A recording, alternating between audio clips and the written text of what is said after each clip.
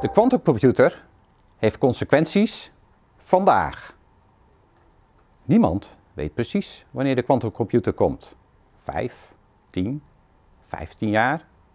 Maar één ding weten we zeker.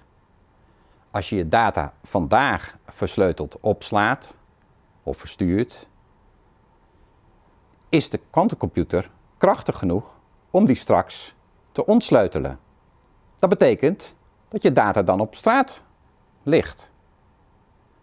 Als je dus je data langdurig geheim wil houden, is het noodzakelijk om vandaag al betere versleuteling toe te passen. TNO evalueert nieuwe versleutelingstechnologieën die bestand zijn tegen de quantumcomputer. De eerste resultaten zijn al beschikbaar.